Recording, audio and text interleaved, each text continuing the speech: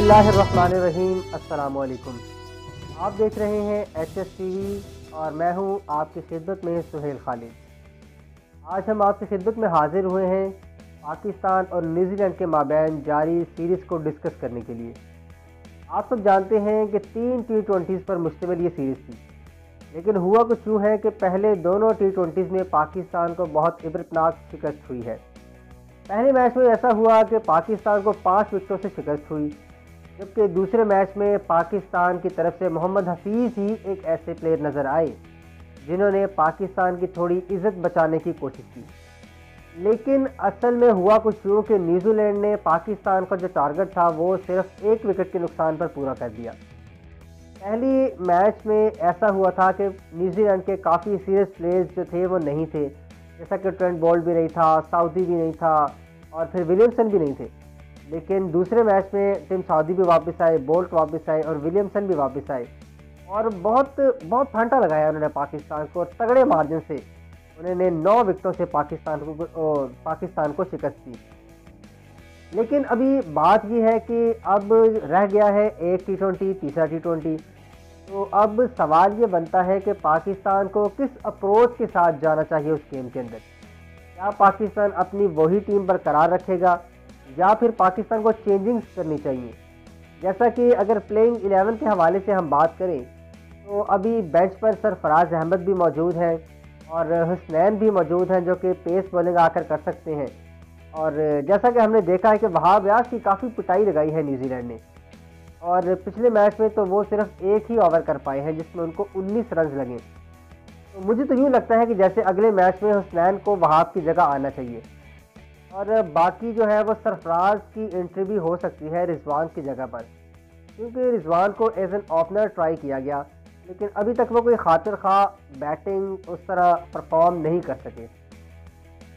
अगर बात करें दूसरे बैट्समैन की तो उसमें हैदर अली, अब्दुल्ला शफीक जो है वो अभी यंग हैं, लेकिन उनको भी थोड़ी ज़िम्मेदारी का मुजाहरा करना पड़ेगा। अब पाकिस्तान के पास बेंच स्ट्रेंथ इतनी ज़्यादा नहीं है कि वो इनको बिठाएँ, किसी और को इन करवाएँ, इसलिए इनको चाहिए ये होगा। ये इसी बैटिंग ऑर्डर के साथ जाएँ अलबत् इसी प्लेइंग लेवल के साथ जा सकते हैं। बस एक दो चेंजेस कर सकते हैं स्नैन और सरफराज इन हो सकते हैं। लेकिन बैटिंग ऑर्डर को थोड़ा सफल ये अब इनको करना चाहिए। क्योंकि हफीज़ एक ऐसे बैट्समैन है जो कि एक्सपीरियंस भी है उनके पास, वो अच्छे अंदाज से अपनी इनिंग को बिल्ड करते हैं। और फिर इन दी एंड वो आकर बड़े स्ट्रोक्स भी लगाने की महारत रखते हैं। तो इसीलिए अब हफीज़ से ओपन भी करवाई जा सकती है, क्योंकि सरफराज आएँगे तो वो मिडिल ऑर्डर में बैटिंग कर सकेंगे। अब देखना ये होगा कि खुशदिल शाह को हम कहाँ देख रहे हैं।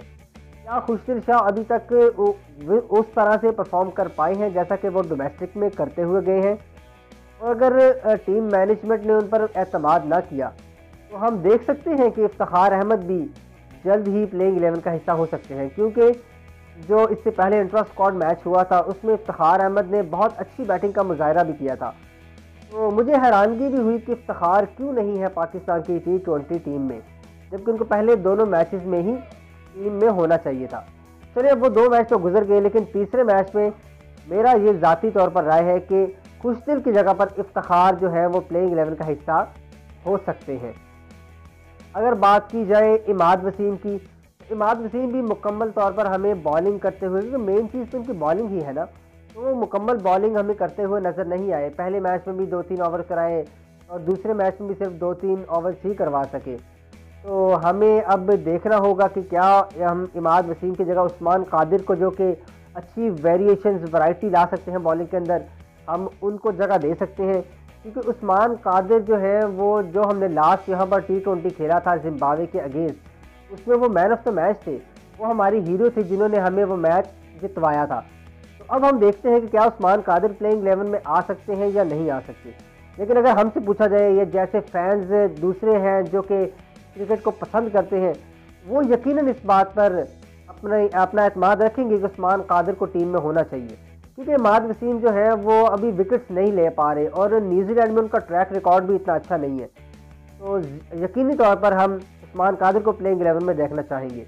जबकि बाकी शाहीन शाह अफरीदी होंगे हारिस रऊफ़ होंगे और उनके अलावा हुसनैन को हमें टीम में ज़रूर लाना चाहिए वहाब रियाज की जगह जो कि बिल्कुल आउट ऑफ़ कलर नज़र आ रहे हैं।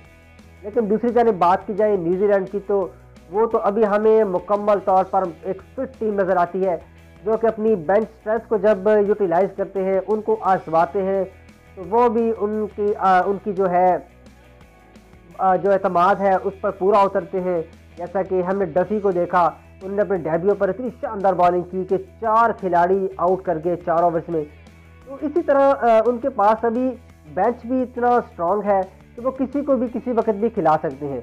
लेकिन मुझे लगता नहीं है कि न्यूजीलैंड बहुत ज़्यादा चेंजिंग करेगी। आ, क्या पता डफी दोबारा टीम में आ जाए क्योंकि सीरीज़ से वो विन कर चुके हैं। लेकिन अब देखना पड़ेगा कि उनकी अप्रोच क्या है। अलबत्त विलियमसन जो है वो बड़ी अच्छे लिख में नज़र आए हैं। और अभी तो पाकिस्तान ने गप्टल का बल्ला खामोश रखा है।